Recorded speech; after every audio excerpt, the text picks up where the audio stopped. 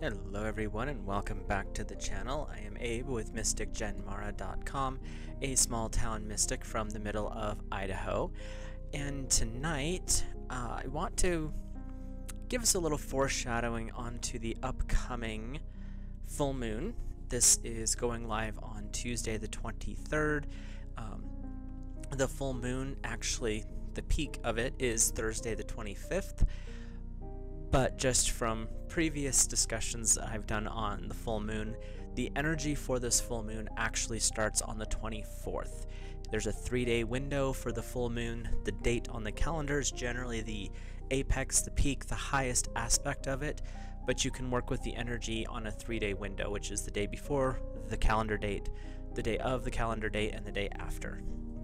So technically, you could start working on Wednesday, which would be tomorrow. So, the first full moon of 2024 is the one that's coming up, and it is called the Wolf Moon. It used to be thought, back in the day, that this was the best time to hear the wolves howling at the moon. The nights in January, if you've never experienced this, I highly recommend it. Bundle up. Big part of this story, bundle up. But the nights in January are very quiet, unless you have a blizzard, different story. But in general, when the sky is clear, there's no storm, and you walk outside on a full moon night, especially in January, and you're crunching in the snow and then you stop. The sound of silence at that point is so shocking because you hear nothing. And if you do hear anything, you can hear it from so much further. There's something about cold air that allows noise to carry further, I think. My I'm not sure for on that you can let me know in the comments. But it feels like it carries further. But when you are out on a full moon night, and we used to go sledding um, when I was younger, and we there's an old logging road. We'd go up to the top of it, hike up to the top, or have snowmobiles drag us up to the top, and then we'd use runner sleds to come back down. And when you would get away from the fire, when you get away from the road or the trail, and you just go out into the woods or up into, out into one of the meadows that were around where we were at, and just stop. You could hear your breathing, but you could hear everything. But you heard nothing. It was it was a weird feeling, but it was so crisp and silent. So if you have the opportunity, bundle up, get away from houses and outside light sources, and if the sky is clear, just watch the stars. It is absolutely amazing. There's nothing quite like that feeling of being out in the cold in the winter, watching that clear sky. It's nice in the summer, but there's something different about it in the winter. And this is this energy of this wolf full moon that we're we've we have coming up. So, other names for this particular moon are the ice moon, very appropriate considering it's January and most of the time it's freezing. Um, the old moon, which is kind of a throwback to the ancient practices of like Yule and that kind of thing. Um, we also have the name snow moon, but snow moon tends to be more commonly associated with February, but it can float around a little bit. So they're all acceptable names. But the one that is most commonly used for January is the wolf moon. So the wolf moon though, and this one I had kind of had to giggle at when I was researching this. I'm getting better with astrology. It's just going to take me forever because astrology is an entirely new branch of things that my brain doesn't quite accept. give me ceremonial mysticism, sigils, seals, all that. We're good. what does trine mean? Uh. so we're we're working on this. Um, but the wolf moon is under the sign of Leo, the great lion. It just made me giggle when I was researching this because it's like wolf lion, but interestingly enough, these two work really well together. Uh, both pretty much apex predators for their environments, I guess is part of it. But this triggers a time of creative bursts of insight, creative influences.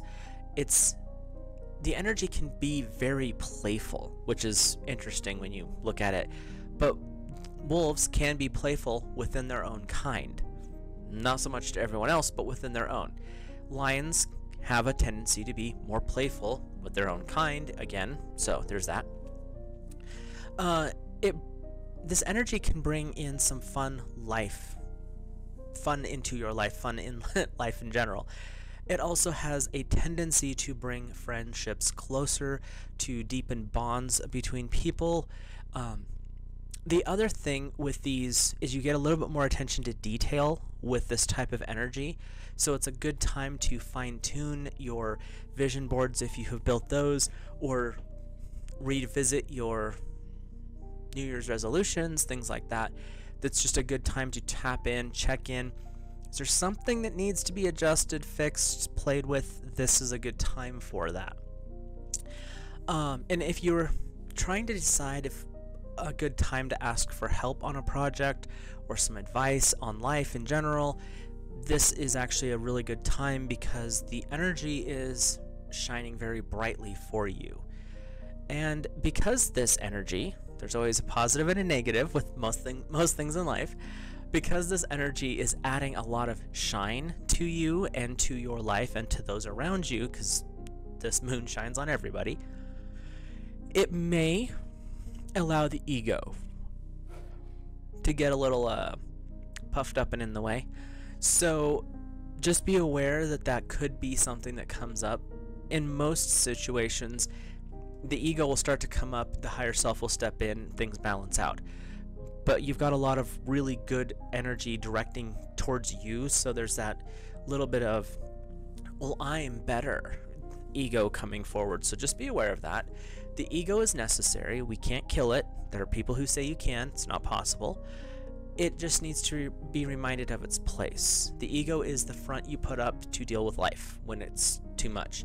But when things settle down, you put the ego away, it's no longer necessary. So, it just, you have to remember the ego is just a tool. Uh, and the ego may push you a little bit because everything's going so well to blatant competition. Competition's not bad, but unnecessary competition wastes your energy. And that's the kind of thing that the ego is going to be pushing for. So just be aware of that. This lunar influence is helping everybody shine. This is not a race. Not not at this not at this point in time.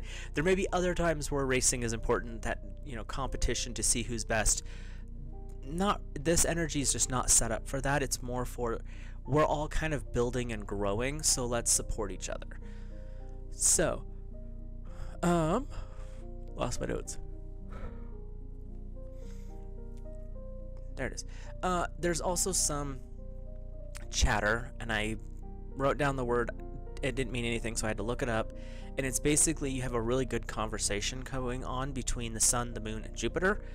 And this is allowing us to deepen or develop healthy self worth, healthy self images, and it shows us the path to our success. And it's whatever project you're working on or what aspect of life you're working on right now. This is where these three are coming together with the lunar energy to be like, let's let's move you in the right direction. The one big thing that I want to mention here is this particular chatter between these three planets, Sun, Moon, and Jupiter, are going to enhance, support, and grow the thing you are focused on. Make sure you're set up for success by focusing on your spiritual growth, your physical growth, and the positivity in life, the ego, self pity, things like that. Put them off to the side. Don't worry about them. They're always going to be there, trust me. but right now, you really want to stay focused on the growth, the positive, the things that are going well, because these three are going to enhance that massively you've got some power hitters. So just some things to just be aware of. Uh, I was digging around a little bit and I ran across this little tidbit of information and I thought this was interesting. Um, Mars and the wounded healer Chiron are not in a good mood together. They don't like they're having an argument. and this can lead to lashing out. And I was like that's really weird, so I dug into it a little bit more and it's people who are dealing with inner issues, dealing with big stresses in life, illnesses, financial things that are kind of like the world's piling, dog piling on them. Um, this is a time because these two are fighting. This is a time where that can be amplified because because Mars, Sun, and Jupiter are amplifying everything. and then you have Mars and Chiron fighting with each other, so it's not a great time for some people. If you are dealing with things and you're going through some bigger situations. Be aware that this could trigger some lashing out. Work through that. Try to try to neutralize that beforehand. Just because that person said made that flippant comment doesn't mean you need to attack them. and just because that person cut you off when you're driving to work, is it really necessary to try to, you know, attack your steering wheel? This is not the time for that, and this is more one of those heads up Mars and Chiron are not being nice to each other right now. What I did find though is it's only going to be for like a two or three day window where these two are just kind of at each other because they're moving quickly enough. So just be aware of that during this full moon because that could be amplified. The other thing with these two powerful forces not being nice is if you're around someone who's going through stuff, this could be a very trialsome time for you. You're trying to stay positive, you're feeling great, you're not having that drama, but this other person is dealing with things, they're struggling at this time. This is a really good time to use your intuition, to shine your compassion. Don't take anything personal. That's a big one that I ran across as I was digging into this. This is not the time for personal for taking something personal. Just let it go. It'll settle down afterwards. They'll you guys can discuss it, solve the problem but if you're going through some things, try to get the help help get some help through this.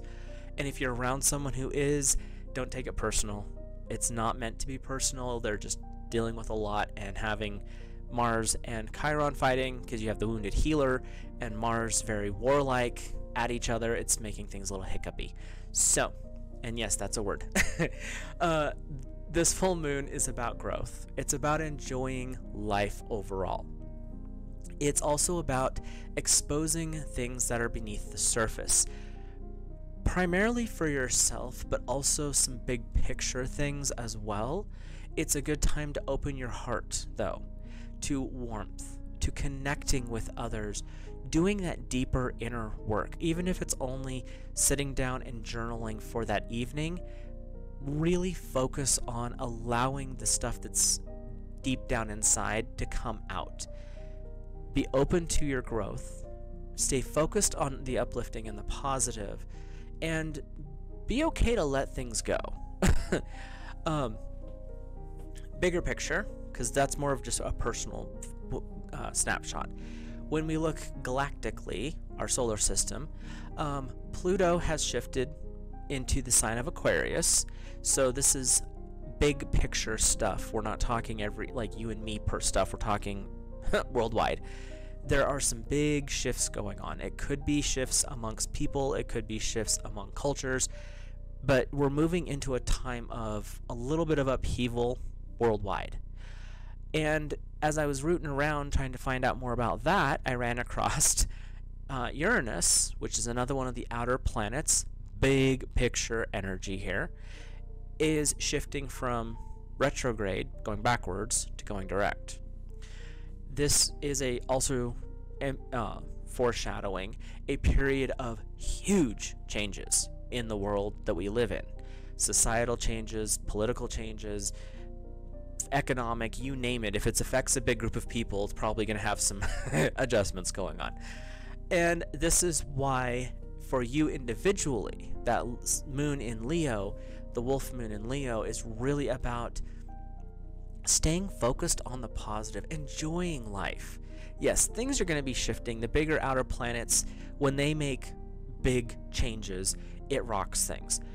But if you are set up for success, when you are set up for positivity, when you are aligning with your higher self, it allows those shifts and changes to be more of like the boat just rocking versus up capsizing it. so things just to think about as we're going forward. Like I said, I was kind of digging around a little bit, but the big takeaways from what's going on right now is the sun, the moon, and Jupiter are having great conversation. They're getting along really well, and they're going to amplify whatever it is you're working on, working towards, and building. So use that energy the right way. So we're going to take a little peek, and I'm just going to pull a card or two, probably just one, for each of the elements. So we're going to start with our fire. If I hit the right, there it is. Fire guys, and this it covers Aries, Leo, and Sagittarius. I will be using the Gateway of Light activation deck um, because it's kind of a cool deck in the fact that it shows little gateways or energy fields that are opening up. So we'll get an idea of what kind of energy each of the elements are bringing in at this time. So let's see what fire. Let's cut the deck again because it's not being too chatty yet. Let's see what fire has for this amazing wolf moon in the sign of Leo. What does our fire brethren need? What gate are they in? Here we go. You guys are in the Earth Star activation. Earth is, fire is in the energy of anchoring, grounded action, and working with the divine feminine in Isis. So, fire. This is a good time to connect into the planet, to Gaia herself. This energy is leading you and may make you feel a little bit lightheaded, is what they're showing me. But with the Earth Star activation, this is activating your Earth Star, which is approximately six inches to a foot below your feet. It is your anchor point to Gaia. This allows you to understand and really tap into the heart of the planet. When you work with that kind of energy, you also become aware of the divine feminine. This lunar energy is guiding you to understand no matter what your gender is, male or female, you have a deep connection to both masculine and feminine energy. This card is saying this is a good time for you to explore the more feminine aspect of life, to look at how that divine feminine um, shows up in your life, and how can you support both and find the balance. But working with the Earth Star activation energy is what our fire brethren are getting to hear for this January full moon. Let's see what our Earth buddies have to say. And Earth is Taurus, Virgo, and Capricorn. What does the Gateway of Light activation deck have to say for our Earth friends and family? Come on, there we go. we have... Nope, we do not have. I pulled three cards, so we're not pulling three cards, we're pulling one or two. So... We have the Holy Grail, Inner Discovery, Finding Sacredness. You are what you seek. Earth, this particular full moon and this uh, activation card is coming in to say, what is it you are wanting? you have the Holy Grail that's offering you the changes in the positive way of whatever it is you're searching for.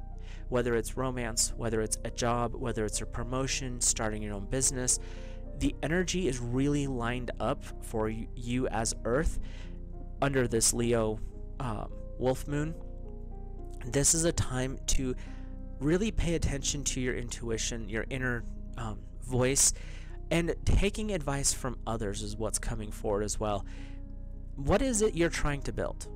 Focus on that thought and really tap into that energy and then see what information comes in.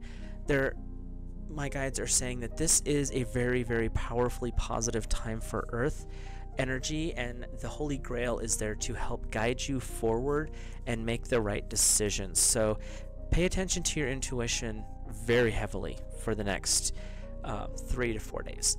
And let's see, we've got air is next. The uh, Gemini, Libra, and Aquarius friends. And when we're talking about air, we're talking about the intellect. We're talking about that growth and expansion period, but also a little bit of fun. It's the daydreamers. So let's see. We have the Anunnaki light codes. I have never pulled this card before. It is the energetic shift, new information, ending of a cycle. Air, this is really working with that Pluto energy where you're tapping into the Aquarius, where you're changing things from the past to the future. You're in a period of old things are letting go. For air, this is a time for you to release. Let go of the past. When you work with the Anunnaki, that is tapping into, if you follow the Sumerian um, myths and legends, you're tapping into the creators, those from who the heavens came, the people or the beings that helped develop us to our intellectual states. This ties into the air very powerfully. You are in a time of growth. You're in a time of casting away the old, of tapping deeper into knowledge and wisdom. The light codes that will be coming in during this time are going to amplify your natural abilities and help you expand because as you grow air, you are going to uplift and radiate to others and help them grow and understand their place. The information is going to be a little bit different, so people may not be as receptive as they might otherwise be for the for air, but you are getting some very powerful growth signs coming up for this uh, wolf moon, and it could be growth that is started at this point and leads into future stuff, but that's where we're at. Let's check in on water and then we'll wrap up this video real quick. And for our water, our emotional water friends. And I almost want to say there's a sisterhood in the water right now. So there might be some sisters out there or a um, group of divinely aligned feminine energy that's watching here. And we have the Temple of Truth, throat chakra energy, authenticity, self expression. Water, tap in pay attention, listen up. you are working with the deeper knowledges. You're working with those deeper transformations. You're working with Uranus and you're working with Pluto. So there's a lot of change because water's tapped into broader, vaster seas. And in the old um, language, sea actually meant people. So you're working with some big energy with Pluto and Uranus going along with this Fire's not your thing, so be careful of your more hostile energies because the Temple of Truth is saying you are here to reveal. You are here to understand. If water and air, especially right now, work together, so if you have high water or high air in your charts, this is calling to you big time. Things are changing. You see the truth of what's happening tap into that positive energy, work with your guides, work with the angels, and move forward in a healthy way. The Temple of Truth has this waterfall, so it's a washing away. It's that cleaning of the old and stepping into the new. And that's the message that's coming forward for the water Pis- Cancer, Scorpio, and Pisces is to wash away the old, step into the new, work with those air neighbors of yours to really build things up. Fire and earth are kind of anchoring and they're grounding, they're stabilizing because that's what they need. But air and water, this is a time for you to shine, to help others' growth and change and move through this kind of thick energy that's coming forward right now. So, with that, I will let you guys and gals go. Um, I hope you enjoyed this video and see if you can get out and t- take a peek at the full moon on um, Wednesday, Thursday, or Friday night. If it's clear, bundle up. Don't go out there without a coat on. and with that, I will let you guys go. If you're new here, hit that subscribe button, drop a like on the video if you enjoyed it, and comment down below. Let me know what your thoughts, uh, opinions, even constructive criticism. I'm open to all of that. Um, and we will see you in the next video.